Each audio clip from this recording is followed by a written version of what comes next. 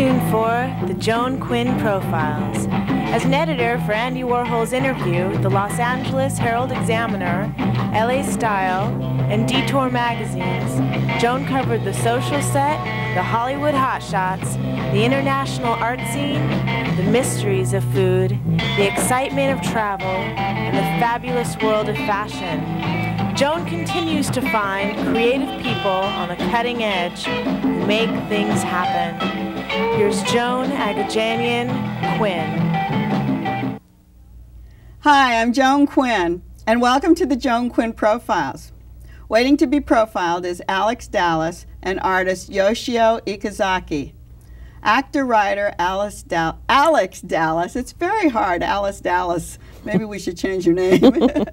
Alex Dallas was born in Belgium, raised in London, and at the age of 15, something happened to you that became the subject of a play you wrote. Yes, it was quite an interesting adolescence. Yes. adolescence is usually hell for most people, but at the tender age of 15, I discovered, rather unfortunately, that the man I thought that I'd grown up in the house with and thought was my father was not, in fact, my father at all. So I discover that my father is actually a completely different person from a completely different part of the world. Somebody who I've vaguely known on the periphery of our life. And the whole experience was so fascinating to me that when I had to write, sit and write a one woman show, that's what came out. I didn't mean to write that show, it just poured out. You really had met him? I'd at- met at him. some time? Yes, and I'd been introduced to him. Was that your his name that you have? no, Oh, because you, you said it was a Greek Cypriot, Yes. and Dallas is a Yeah. Greek name, or yes, it would be a yes, Greek name, Yes, no. or it could be a Greek name. That's name. right. But Dallas is actually my other father's name. It's Scottish. Oh, is that right? House by the Dale. It's a wee village just outside of Aberdeen. So different. I know. Fascinating, isn't Oh, were you trained in the theatre? Not really. I, I desperately wanted to be an actress and I asked if I could Oh. go to theatre school and they sort of went, no, that's not very sensible. Go and be a teacher. Oh, is that? So I, oh. what I was actually trained in was drama teaching. oh, you were. and I did So you did take some drama Yeah, classes yeah. along the way. Yeah. But then when I. Why'd you write the one-woman show then? Ah, well, here's the rub. I was in a female comedy troupe called Sensible Footwear. Oh yeah, I love that title. Yeah. Sensible, sensible footwear. See how sensible they are Yes, today. uh-huh. Um, for 18 years.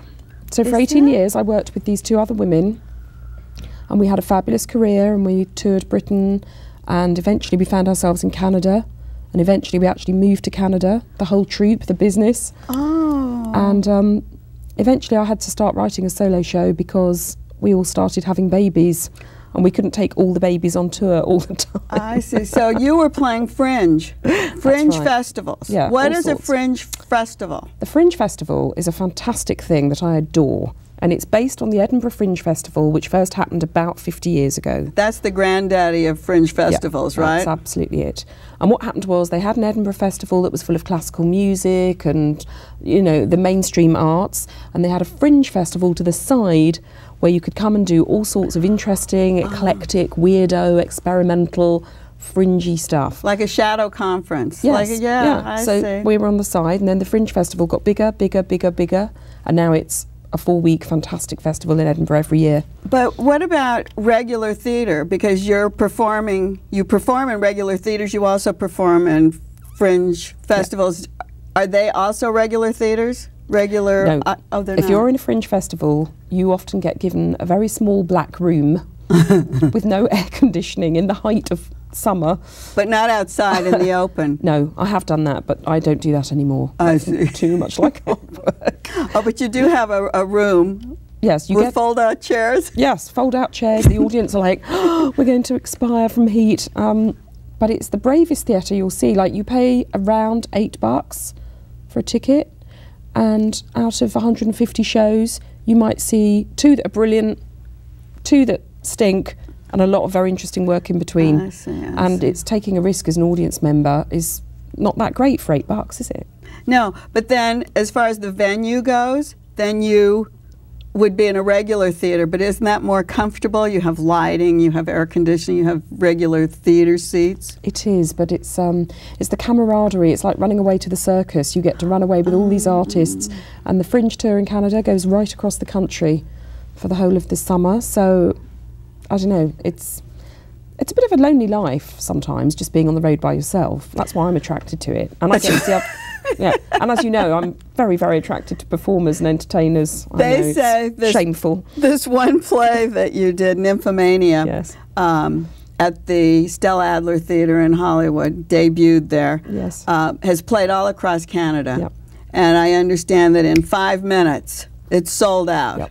My reputation precedes me, Joan. How, well, are they little tiny houses? They're fairly small. They're 100, 150. but still, they're But the clamoring is, to they're get. clamoring, yeah. And that, I think that's from 10 years of building up an audience on the Uh-huh. circuit, and everybody knows who I am.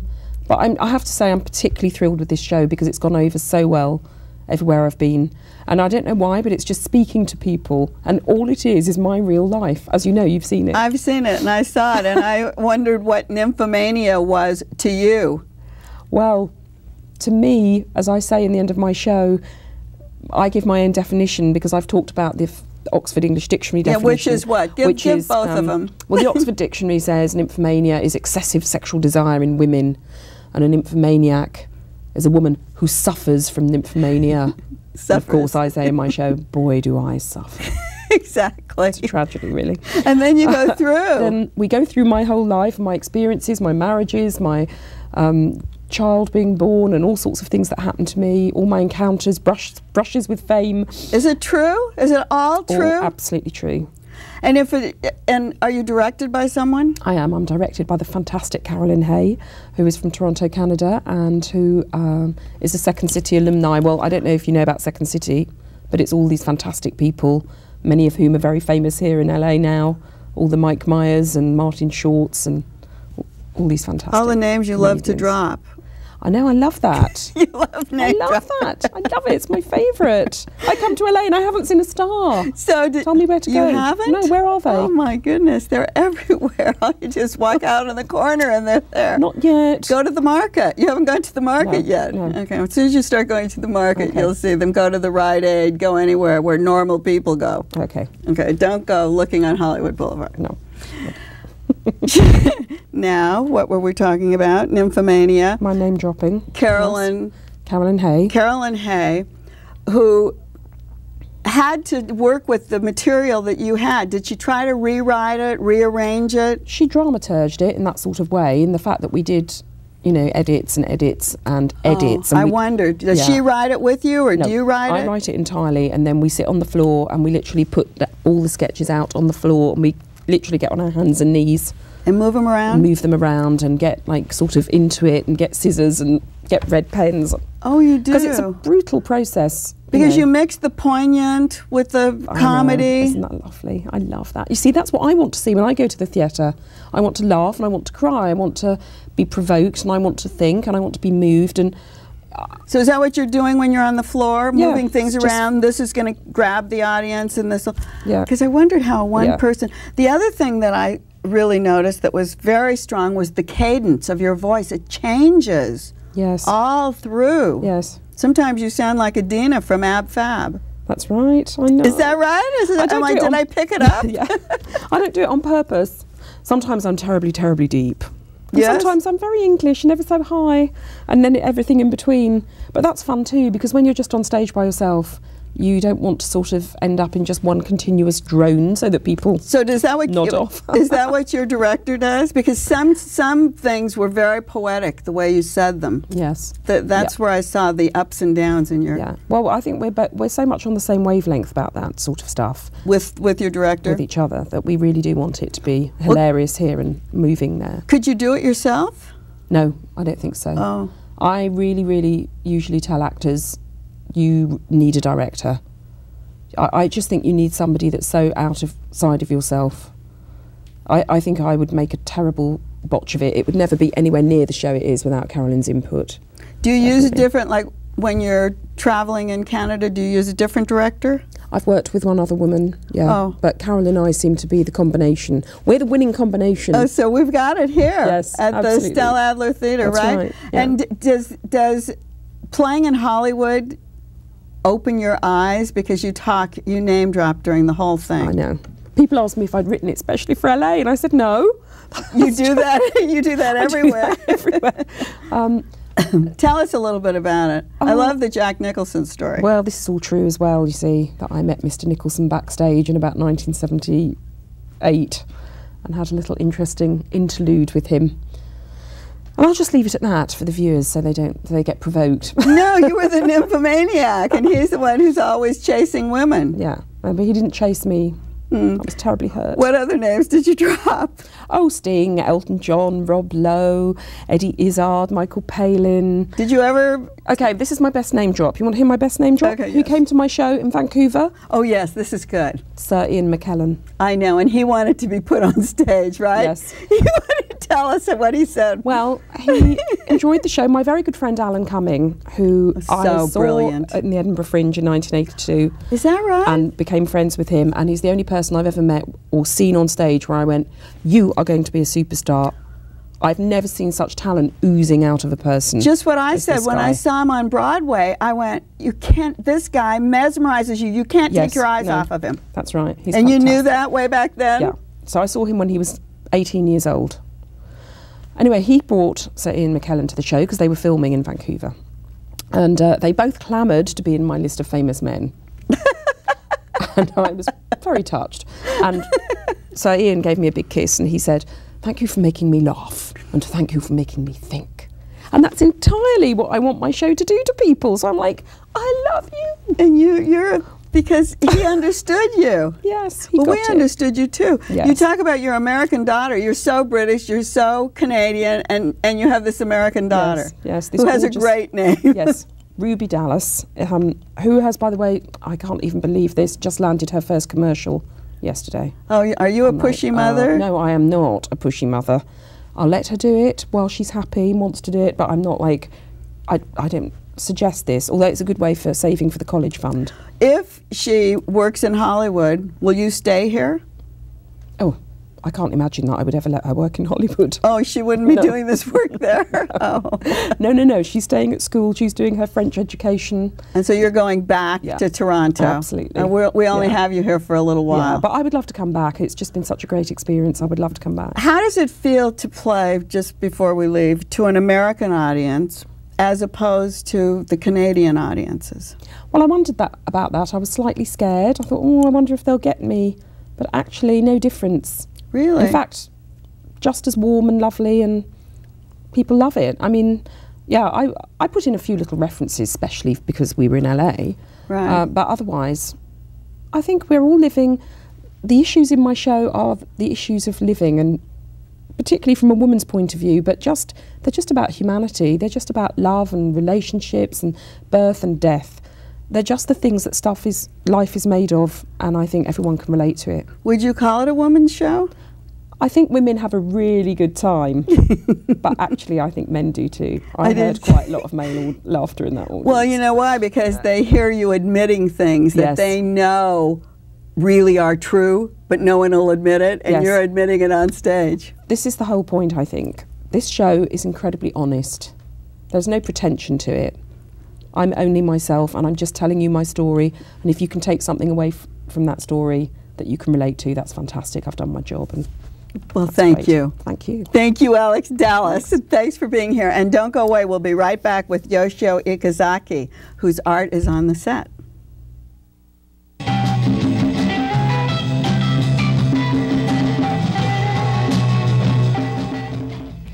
Hi, I'm Joan Quinn, and welcome back.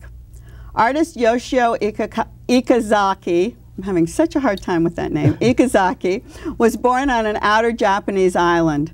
But he earned a Bachelor of Arts and a Master's from Florida State in painting. Soon after several years, you studied um, paper making with a paper master, Matsuo. Right. Why did you go into paper making? Well, um, actually, after I finished my master degrees, I had the choice to really stay in the States to continue my uh, art activities, or I've always wanted to make paper for my own paintings. Ah. So that's you know one of the strong reasons that I go went back to Japan to study. Was he a national treasure? Well, he's not national treasures, but at that time he was vice president of the uh, uh, Japanese handmaking unions. In Did they have a, a national treasure in paper making? Um, yes. they, Uh, they must. yes. We have one person Uh-huh. um, currently. Yes. and he wasn't- probably taught everyone that you know. Um, not really that I know, but um, yeah, it's very difficult. Um, it's very unusual for them to to teach somebody food from outside, Oh. because paper making business is more like a family-oriented business in Japan, and uh, Oh. maybe there the, I'm the first person accepted me from the outside as the the apprentice. you know. Why were you c- considered the outside? You were born in Japan just Yes. because you went to school in the States? Uh, not necessarily. It just um, th- this is sort of a Japanese tradition that if you're born to be a son of paper maker, Oh, you, you have to become follow? paper makers. Yeah, Oh, I but see, uh, somebody who have totally different background want to study papers, and they didn't know what was so the purpose that I was you know interested in. So What was the procedure? Mhm. Did you have to apply to him or? well, I sent a letter saying that uh, I'm interested in studying paper from you, and uh, I didn't get any answers. Oh, so I had to sort of, uh, you know, reply again. Then I have to wait like three months, and finally, I realized that maybe he's not gonna maybe send me the letter. So I have to go there to knock his own door. Oh. Um, yes, and it- show him that you really wanted it. exactly. I have to show my passion. You know. and that's what you did? yeah, that's what I did. Yes. How long were you studying? Um, I studied totally six and a half years with them. Is that right? Yes. Well, first I didn't realize that how long to take to study and understand the process of making papers, but uh, when I actually involved, it was just two sort of uh, um, difficult things that it, learning in a short period of time. So, first couple years was just me to see what they're doing, and then, like actually third year, I be able to, or they permit me to really, you know, Get be a part of it? right. Really? Mhm. Is pa- is that paper making process the same, say in India and different parts of the world? Because Um, they have a lot of paper makers. Sure, in of course, India. yes. Um, one thing is a different uh, Japanese papermaking, different from other uh, country, is that uh, we do use that uh, uh, uh, bark of the mulberry trees, which Oh. very different from like American uh, or Western papers. It's made out of pulp. So. Um, the method of making papers, of course, is different because the uh, fibers are very different. So it's more uh, complex uh, procedures and uh, about 13 different processes to make one sheet of paper. Is that right? Yes. And then is does the color change depending on the, the bark? Um, well, Or you change the color? I change the colors, but um, you know, people think the paper is granted, paper is white, but uh Uh-huh. actually, uh, natural fibers are not white. It's like a very yellowish sort of a natural colors, Uh-huh. and you know that's what it is. And now you teach paper making. yes. mhm. Where do you teach paper making? Um, here in California, I teach at uh, uh, Art Center College of Design Uh-huh. in Pasadena and uh, uh, Southern California Institute of Architecture Oh, in Los Angeles downtown. Yeah. SciArc, right? SciArc, yes. I see. So you actually teach paper making there. yes. Now, one of the other things Mm-hmm. you've shown, you've had art shows in all over the United States, Right. Japan, Korea. Uh, do you show paintings or do you show? Um, These are paper pieces, so these are these are handmade paper, right? Right, sure. The sculpture. Mhm. You yeah, I've been doing this for since maybe 1989, and uh, I've been continually producing those uh, art pieces. But uh, besides that, I'm a painter, so I do paint. And uh, So is this handmade paper painted, uh, yes, this one was yes. and then it has brush? Um, yeah. Let me explain that just a little okay, bit. tell us. This papers that I produce sheet by sheet, and then I stock them. And uh, this is about maybe 40 sheets of paper there. I see. And then Okay, in a long switch it on. process, yes, And you can really see that, that layer. And um, after I make them, and then I start drying them for like a one month or two months. And then after it's completely dry, I paint them. And then this one was uh, calligraphy on top of it. So is this what you call sumi brush, Yeah, which sumi- is what you yes. teach as well. Uh, I do teach, yes. Mm-hmm. So when you're at SciArc or at um, Art Center. Art Center in Pasadena. Right. you teach tradi- traditional Japanese techniques Yes. In I also teach that uh, Japanese, uh, you know, talking about the uh, uh, aesthetics, aesthetics of the uh, uh, philosophy of the Japanese art. Oh, you do. Yes. So you teach a philosophy class. You Mhm. teach the aesthetics. Aesthetics you and teach.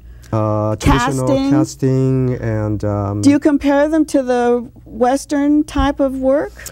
Um, well, I think is that um, what I really li- like to teach student is that maybe when they study Western method of teaching, uh, learning uh, things, probably they have a lot of the uh, the textbook showing a lot of examples and things. hmm You mean from Western artists? Western artists, yes. But uh, sort of my sort of a way of teaching is that I try to teach them the philosophy and more like spiritual sort of uh, idea of what what the making art is about. So uh, Japanese aesthetics, I, I teach them Japanese ma, Japanese uh, wabi sabi. I don't know your term. You know, it's a kind of um, very traditional way of Zen thinking.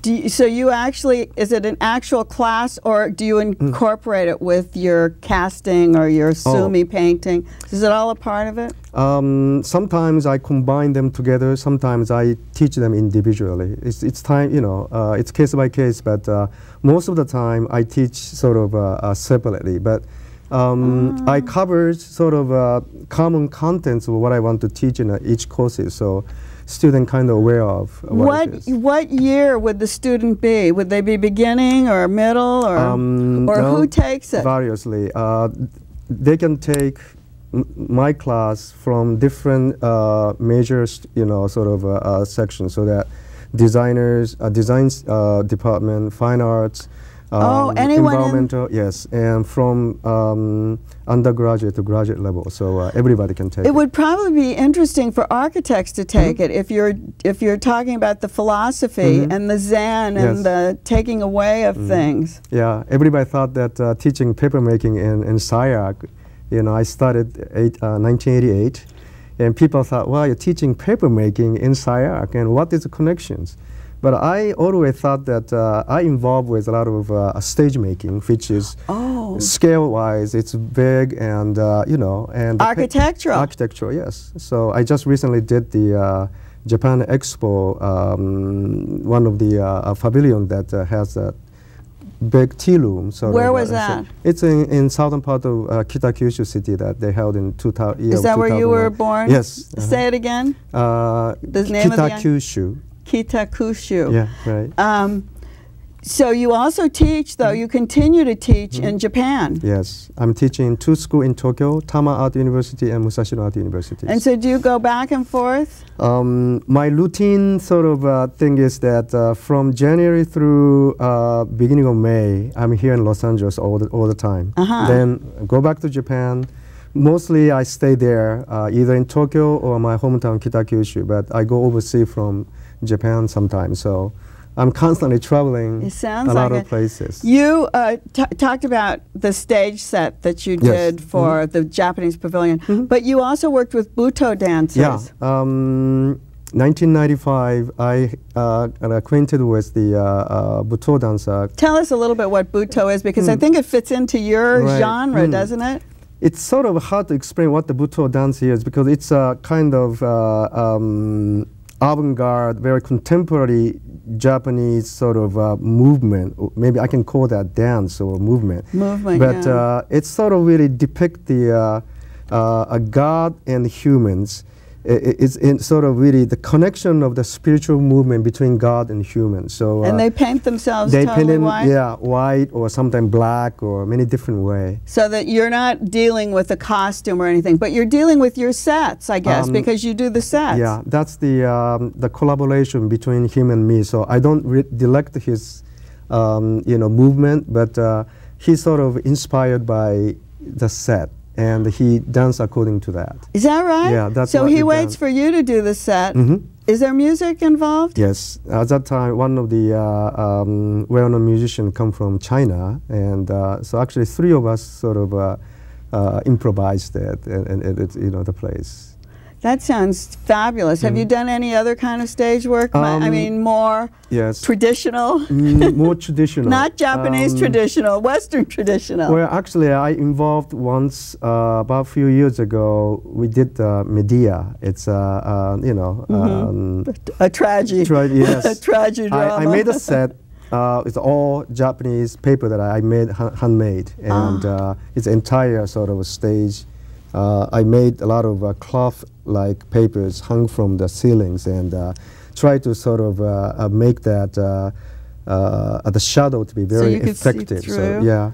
so there like wasn't much furniture, just this Yeah. more uh, banners hanging. Exactly, yes, something like that. And I did many different kinds of concert, um, classical uh, piano concert. I made stage and. Um, oh, you wouldn't think about that with yeah, the concert, something with like the pianist, that. yeah. music. I, I I've done a lot. With the, Before uh, we leave, I want to talk about this Mm. Okay. collage that Okay. you've done here. Maybe you can, because it's it's parts of your painting Right. and parts of your. This is uh, my uh, recent sort of uh, um, the style of the painting that I've, I've been uh, showing uh, in many places. So this black area is like a sumi painting. So I use a sumi stroke, brush stroke to do uh, painting, and these are all handmade paper that uh, most of them I make, and some that uh, I will not be able to make because of the machine. I specifically ask somebody else to produce for me. So this is a collage piece of each section that uh, I put them together I to see. make uh, work like this. It's really incredible, and it's not only the painting that you did, but it's Mm. Also you made it from the bottom up. Right. I this is sort of my uh, uh, always the dreams that uh, I make everything from my own sort of hands and uh, um, you know.